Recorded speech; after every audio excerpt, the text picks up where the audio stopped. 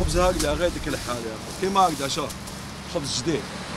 جديد الخبز هذا والله راه حرام عند ربي واحد يرميها هكذا دوكا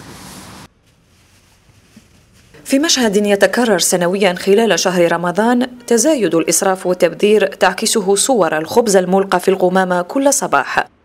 كميات معتبرة من الخبز وسط النفايات تؤكد غياب ثقافة استهلاكه لدى الجزائريين.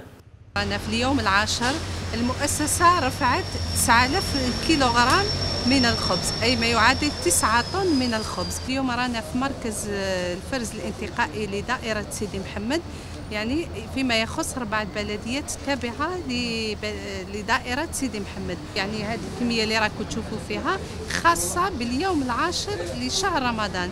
يعني يوميا نرفعوا حوالي نفس الكمية وهذه الكمية يعني راهي تقريبا في كل مراكز الفرز الانتقائي. خلال جولة قادتنا إلى إحدى المخبزات المواطنون أكدوا أن ظاهرة تبذير الخبز تتزايد خلال شهر رمضان لعدة أسباب رغم وعي الكثير منهم بأضرار هذه الظاهرة. الشعب الجزائري كيكون صايم يتشهى. شري خبزة مدورة خبزة طويلة خبزة. وتسيبي des fois في, عائلة تكون nombreuse ما يتفاهموش بيناتهم.